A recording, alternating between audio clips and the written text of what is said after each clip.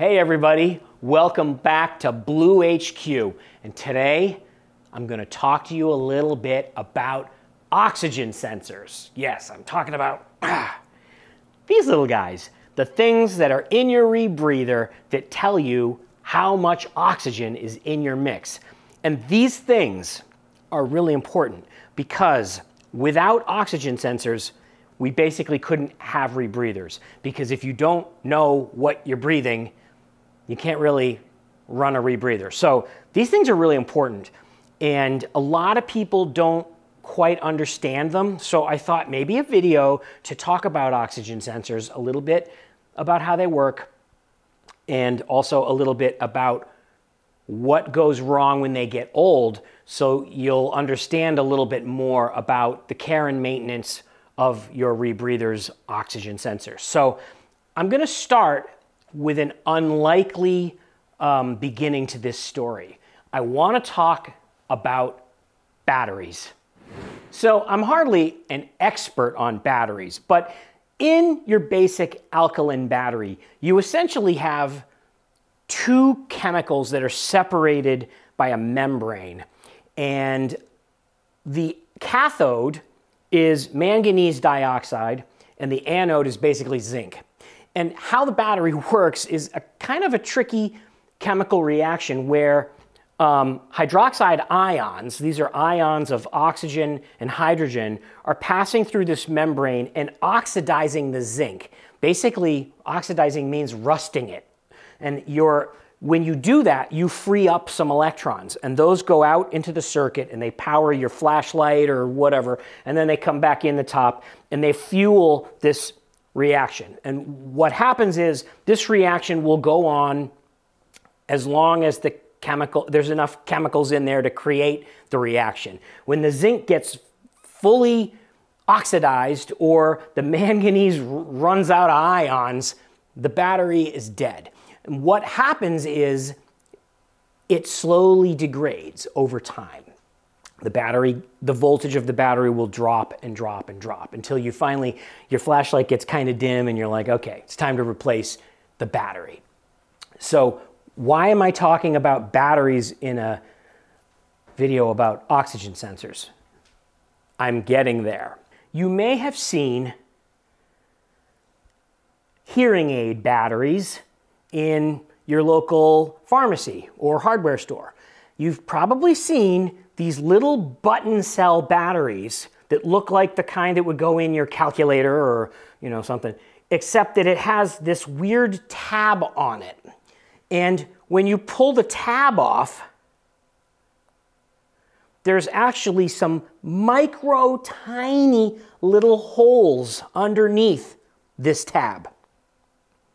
What's going on here? Okay, this is what's known as an air battery, which is to say that the oxygen that fuels the reaction in this battery comes from the atmosphere. Now, why would you do that? Well, in a chemical battery like this, if the circuit's not hooked up and the electrons aren't flowing, the reaction is much, much, much, much slower. But it's still doing its thing, which is to say that this battery has a pretty limited shelf life. So uh, when you buy it, even if you don't use it, it's sitting in a drawer, it's slowly getting weaker. The advantage of an air battery is that until you pull the tab off and start the reaction with oxygen, the battery is basically inert because there's no oxygen to make the reaction happen. So why aren't all batteries air batteries? Well, because the amount of oxygen in the atmosphere that runs these produces a pretty slow reaction and you can't get a lot of current out of one of these. These batteries are really only suitable for applications where you don't need a whole lot of juice. They're perfect for a hearing aid.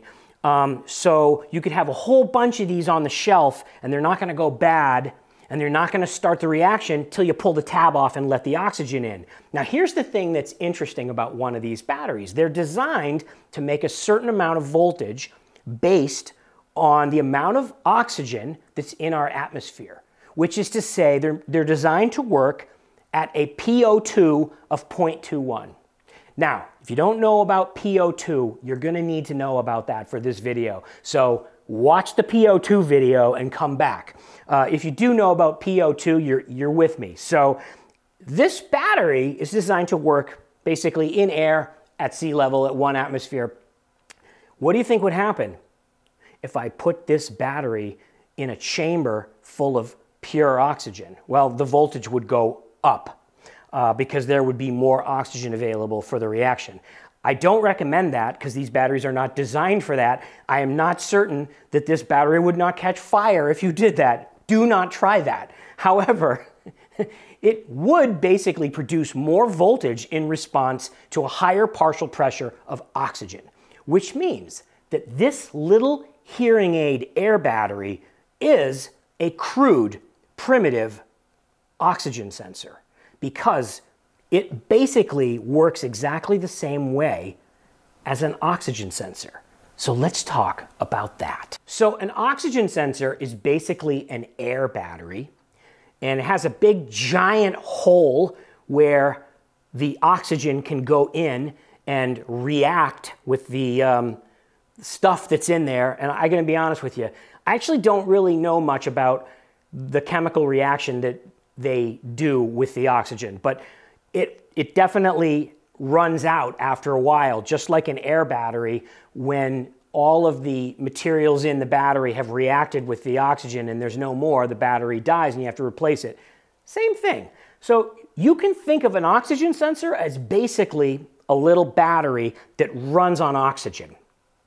And after a while, the chemical in here that reacts with the oxygen runs out and the, ba and the battery, the sensor, dies. So on one end, you have where the oxygen goes in, and on the other end, you've got a couple of pins where the voltage comes out. And this device produces a voltage in response to the partial pressure of oxygen on it. So how are they used in a rebreather? Well, typically in a rebreather, you have at least one, maybe up to more than five uh, sometimes, but typically three in a rebreather. You have three of them, and they each read out on your computer and you can either read the millivolts, how, how much voltage is coming out of these. I'll come back to that in a minute. Or once you've calibrated the computer, the computer can convert the millivolts into a partial pressure of oxygen. And that conversion has to be done with a calibration, where you tell the computer, I'm putting this much oxygen in, and you take that millivolt and convert it into the PO2 that we know what it is. And so that's a calibration. Come back to that. And these things will read out on your display, and by using them, you can tell what you're breathing. Why three? Well, okay, if you had just one and it was not reading out well, how would you know? So then you're like, oh, well, we should have two. But if you have two and they disagree, how do you know which one's right? So three means that hopefully only one is busted. If one of them is busted, two of them are going to agree and one of them is going to disagree. And you can say, huh, I'm not going to trust that one. I'm going to trust the two that agree. So that's kind of the reason why most rebreathers run with three. Now, let's talk about this whole calibration thing. Okay, so how much voltage does one of these things put out? A brand new sensor depends on the brand, depends on the type, but at least the ones for my KISS rebreather, when they're brand new at a PO2 of 1, okay, which means that they're in a pure oxygen environment at 1 atmosphere on the bench at the dive shop, they'll put out about 50 millivolts, okay? So 50 millivolts is 0.05 volts, which is to say 1 30th as much voltage is in a double A battery. We're talking about a very small amount of voltage, teeny weeny, teeny, teeny, teeny weeny. So your dive computer has to analyze that voltage and know what it is and measure it. And then when we calibrate, what we'll do is we'll, we'll set this thing up on on the bench at the dive shop, right? And we're going to set it up at a PO2 of 1, okay? This thing is going to put out 50 millivolts right there, okay? So we're going to tell the computer, calibrate. And then what's going to happen is it's going to say, okay, at a PO2 of 1, this sensor puts out 50 millivolts. Now, there's three sensors. One of them probably puts out 50 millivolts, and one puts out 52 millivolts, and one puts out 48 millivolts. It's going to do an individual calibration for each sensor. But let's just look at one sensor of those three.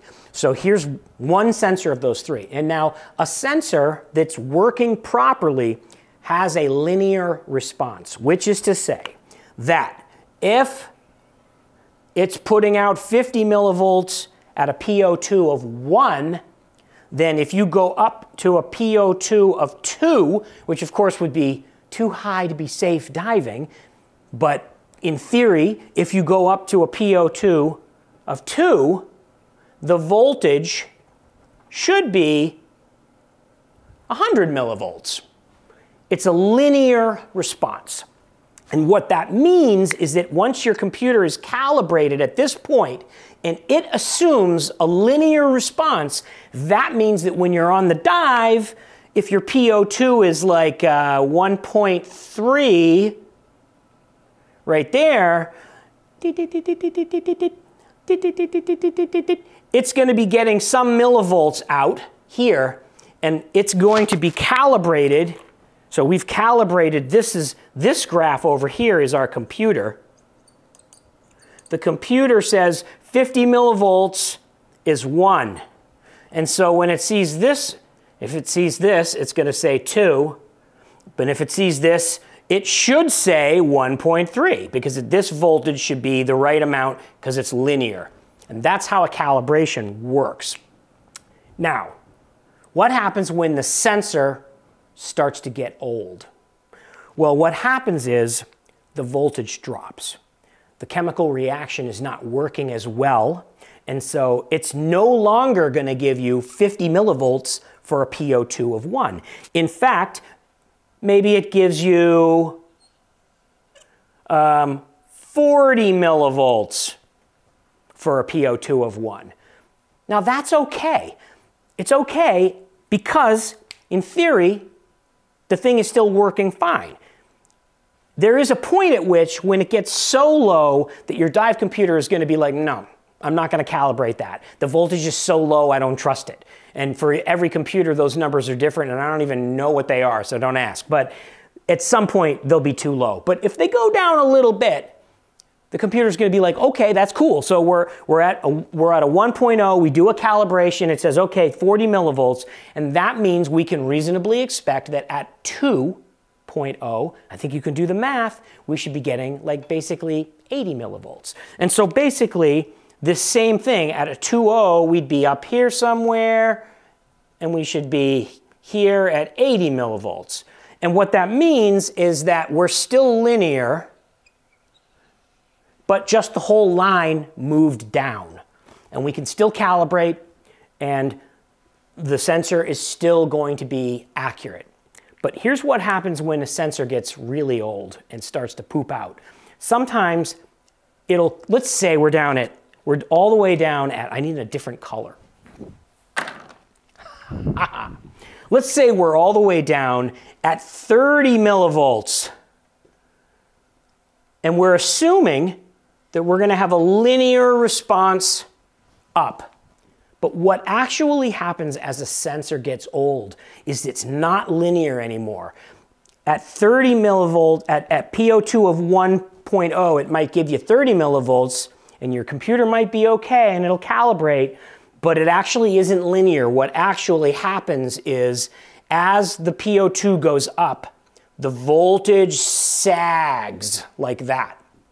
And that's, that is a sensor that's going bad. So its baseline voltage is not low enough for the computer to totally reject it, so the computer will calibrate.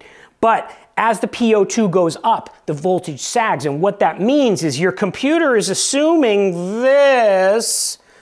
And so your computer is saying, oh, I'm getting a voltage, and I'm assuming that voltage represents a PO2 of maybe uh, 1.5. And you're like, oh, that's too high. I got to do something about it. But actually, you're way out way higher than 1.5. And so you are diving along, and basically what this does, the net effect of this is that as your PO2 goes up, your computer becomes less and less accurate and it reads on the low side, which is to say you could have a dangerously high PO2 and it looks normal. So your computer's like, oh, you're at 1.3 and you're all happy. This is good, it's perfect. But you're actually at 1.6 or 1.7. And so if you decide to come up and do some deco or something and you crank your PO2 up and you think you're okay because you're cranking it up to 1.5 for deco, you might actually be pushing it way, way into unsafe territory. So, how do you avoid this? Like, how do you know? So, when I was certified on my rebreather, my instructor, Ed Sorensen, drilled into us a very important test at the beginning of every dive. So you're going to go down, you're going to calibrate your computer to a PO2 of 1.0 at the surface. And so that your computer says 1.0 when the unit is completely filled with oxygen at sea level. And then you're going to go down to 20 feet and, at, and you're going to fill that rebreather completely. You're going to flush it with oxygen. And then you're going to make sure that your computer says 1.6 because mathematically, at 20 feet, pure oxygen is a PO2 of 1.6. If your computer says 1.4, when you're, you know the oxygen has to be at 1.6 because pure O2, 20 feet, 1.6, they don't agree, you have a sensor or sensors that are bad. Their voltage is nonlinear, they're dropping. This is the reason that that test is so important at the beginning of a dive, especially the beginning, your first dive of the trip, where maybe your sensors haven't been used in a while and you're not sure if they're good. You definitely need to do this test. And a lot of people skip it because it, it, it takes a minute. I'll give you a little tip on this. When you do your pre-breathe at, the surface, First flush with dil and check your diluent, then flush with O2, and then as you're going down at the beginning of the dive, turn off your ADV so you don't get anything, any dil put in the mix. Only flush, fill your lung with pure O2. When you get to 20 feet, stop. You shouldn't have to do much. It's already got pure O2. Just take a quick look exactly at 20 feet, not 24 feet, not 18 feet, 20 feet. Look, should be 1.6 or pretty darn close. And if it is, your sensors are good. If you have one or two sensors that are reading low, they are nonlinear. So they were making enough voltage to calibrate, but they are not making enough voltage at high PO2s to be safe. You should either call the dive, it's up to you. If it's one sensor, you could either call the dive or you could decide that you're not going to trust that sensor for the dive. That's up to you, depending on how big of a dive we're talking about. If it's a casual little dive, you might want to just ignore it. If it's a big dive, you might want to go change that sensor. So in any case, that, ladies and gentlemen, is a little basic primer to O2 sensors. Um, they're very important. They do go bad. I had one go bad within a month of being brand new. You cannot assume that because the date says it's good until such and such date that it will be. And you cannot assume that just because it says it expired six months ago that it's expired. Those are like rules of thumb. You have to test them. And um, I've seen sensors go years. And then I've also seen sensors go like die almost immediately. So who knows? Something was wrong inside. So this is why we test them. Um, Everything in a rebreather is pretty simple. It's a bag that you breathe through with some scrubber to take out the CO2. It's not rocket science. These things are what keep you alive. Those babies. If you're too cheap to replace them when they need to be replaced, That's bad. You shouldn't own a rebreather. Seriously, don't be cheap. They're like $85, okay? Replace them when they're bad. Always have a spare. And don't be afraid to say, this one's wonky, I'm replacing it. They're just not that expensive, and I'm sure that your life is worth more than $85. So if you have any questions, put them down below. I'll try to answer. As usual, if I can't answer them, I'll get Todd or somebody to figure it out. Uh, until the next time, have fun, dive safe, and see you in the blue world. Hey everyone! Thanks for watching our latest episode all the way to the end. Hit that subscribe button now so you won't miss our next episode.